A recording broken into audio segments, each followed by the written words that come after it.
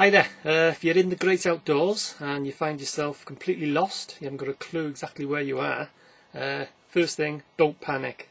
Um, if you've got a compass with you uh, and a map and you can see two prominent land features, uh, say a television mast and say a, a peak of a, a mountain, a mountain peak, something like that, and you can see them two land features on your map, then that's it. You can find out exactly where you are and it's called resection. First thing you do is get your compass and take a magnetic bearing of the first landmark. And then you have to take away the magne magnetic variation. You have to subtract it. If you're not sure about variations, I have got a, a video on my channel which does explain that. So you subtract the variation. Right, you've got a grid bearing now.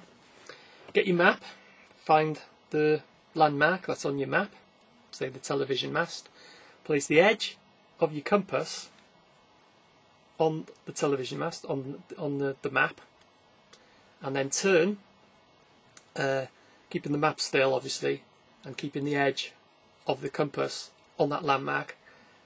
Turn your compass until the north-south orienteering lines on your compass are parallel with the north-south lines on your map.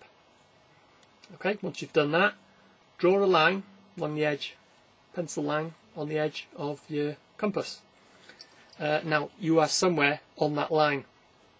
Okay, so next thing you do is take a bearing off the second land feature, say the a mountain peak.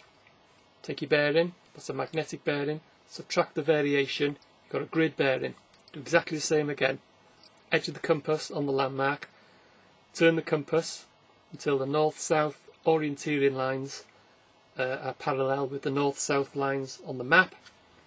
Draw another pencil line and then you'll see on your map you'll see the two pencil lines will cross and exactly where they cross that is where you are and that's how to find yourself by resection.